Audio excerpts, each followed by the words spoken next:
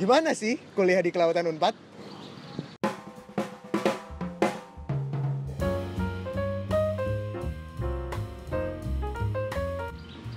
Assalamualaikum warahmatullahi wabarakatuh. Ketemu lagi bareng gue Ilham. Hari ini gue mau ngomongin gimana sih kuliah di Kelautan Unpad Bersama teman gue yang udah lulus di Unpad. Iya, udah lulus maksudnya. Sini teman, masuk, ayo coba teman. Ayo teman. Sini, duduk sini Geser, geser, geser Nah, perkenalan, namanya siapa? Ah, nama saya Muhammad Sofa Firdaus, Nah, umur, umur 23 tahun. sekarang kegiatan ngapain? Sekarang kegiatan masih freelance aja. Oh, freelance Ya, Oke Ah, Angkatan berapa di Kelautan Unpadnya, Sob? angkatan 2012. 2012 Oke, kalau begitu kita langsung ke pertanyaan pertama Pertanyaan pertama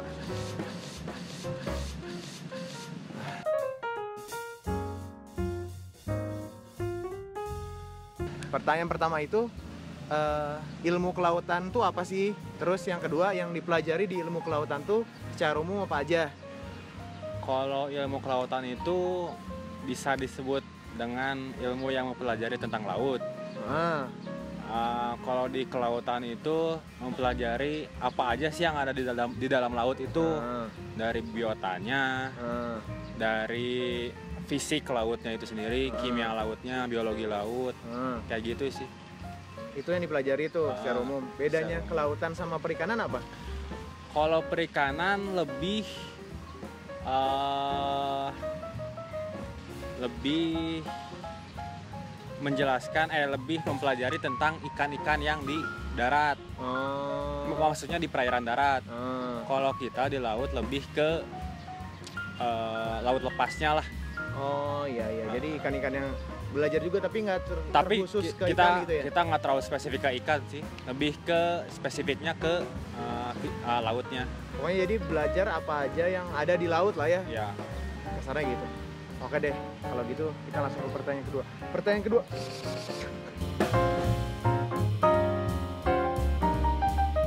Pertanyaan kedua itu tentang eh, pola perkuliahannya gimana di Kelautan Unpad dari semester 1, semester 2, semester 3 sampai lulus lah. Oh, kalau dari per- semester pertama Heeh.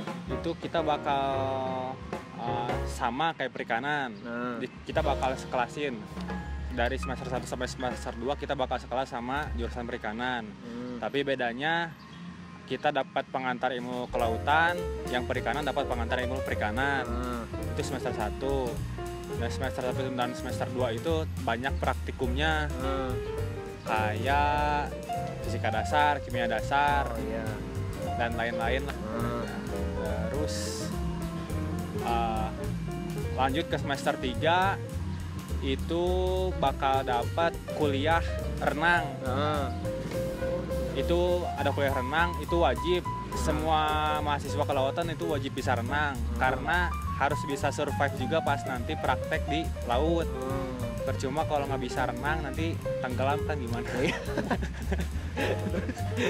Terus semester 4 eh, ada beberapa mata kuliah yang spesifik, ada oceanografi fisika, oceanografi kimia, Ah. terus mata kuliah widya selam atau diving. Ah. Itu beberapa mata kuliahnya. Ah. Oceanografi fisika itu mempelajari eh, sifat-sifat fisik laut Ah. kayak eh, arus, gelombang, temperatur, suhu, salinitas lautnya. Oh iya iya. Kalau widya selam itu diving, cara-cara kita diving itu kayak gimana sih? Oh. Dasar-dasar diving itu kayak gimana? Kayak gitu lanjut ke semester. Oh, itu di semester 4 itu kita bakal ada PKL. Oh, PKL di- di semester 4 tuh? Iya, semester 4 libur semester habis habis semester 4 itu kita langsung PKL. Oh PKL itu biasanya kampus nyediain sih listnya. Kita eh, kita langsung milih aja apa yang kita apa tempat tempat kita mau PKL itu di mana. Oh iya iya iya. lanjut ke semester 6 itu kita eh semester 5 ya semester 5 itu Aduh, Lupa. Ya udahlah, apa semester 5 6 tuh pokoknya udah mulai mulai lebih fokus lagi nggak? ya itu pasti mengerucut semester ah, 5 sampai 7 itu mengerucut. Tapi kalau di kelautan sekarang masih belum ada penjurusan. Oh, belum. jadi itu uh, masih umum semuanya semuanya uh, mata kuliah yang harus diambil gitu. Oh, jadi nggak ada nggak ada pemilihan uh, jurusan fokus bidang ah, mana kajian. Gitu? bidang kajiannya nggak ada nggak ada nggak ada pemilihan.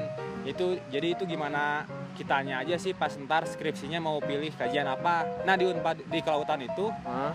ada uh, program eh maksudnya ada bidang kajian hidro hidrooceanografi konservasi dan bioteknologi Oh iya iya iya. Dulu ngambil apa?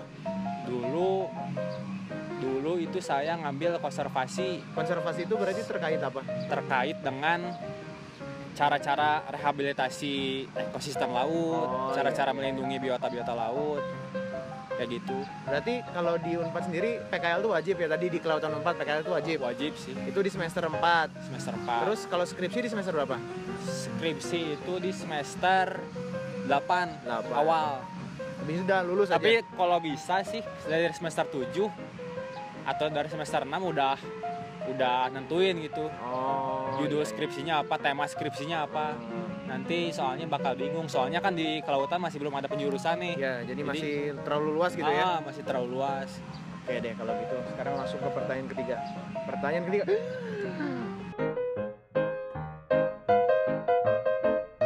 Pertanyaan ketiga itu tentang enak dan gak enaknya kuliah di Kelautan Unpad. Kalau enaknya itu sering jalan-jalan. Ah, Sem- dari semester pertama sampai semester A, semester 7 ya.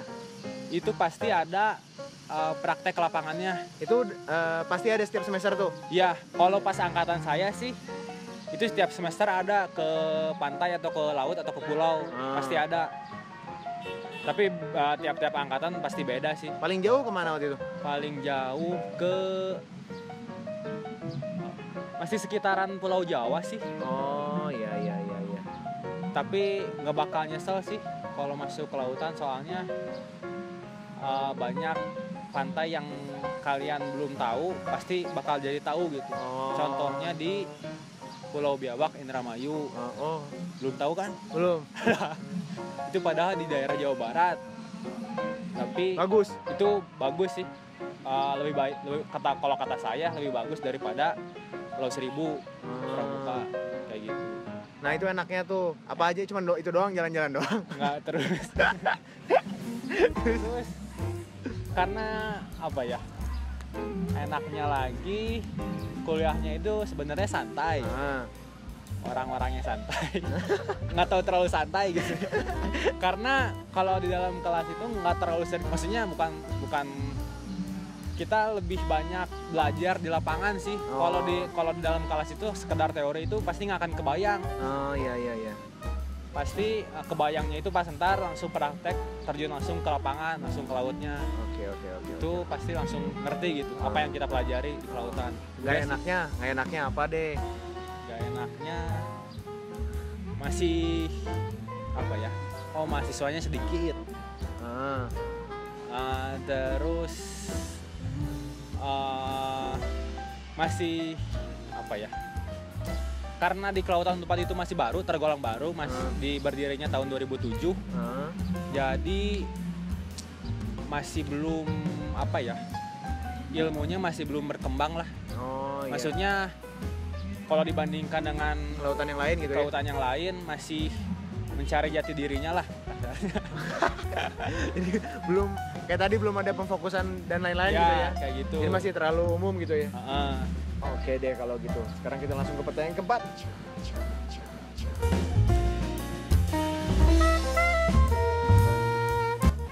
Pertanyaan keempat itu tentang peluang kerja lulusan kelautan. Itu ke mana aja? kalau dilihat sih dari senior senior yang udah lulus atau adu- atau alumni alumni Ya. yang udah lulus ada beberapa yang menjadi dosen jadi peneliti di lembaga penelitian Ah, terus di konsultan konsultan kelautan perikanan atau konsultan pemetaan. Oh iya iya. terus jadi freelance kayak saya project-projectan. Ada juga kerja yang jadi pegawai swasta ada di migas ada beberapa Da, ya itu gimana rezeki lagi sih. Rezeki ya. Tapi pokoknya bisa kerja yang terkait laut berarti kan? Eh, iya bisa. Apa aja yang terkait sama laut? Ya. Harusnya bisa gitu harusnya anak bisa lautan.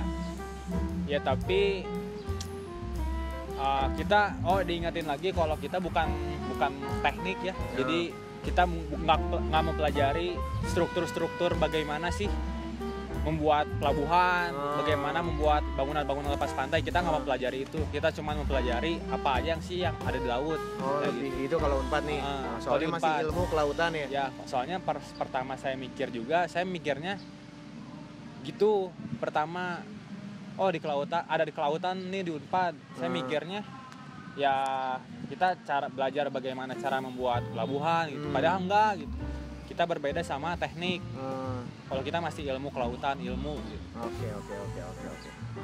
Oke deh, kalau gitu langsung ke pertanyaan kelima. Pertanyaan kelima. mak, mak, mak, mak, mak.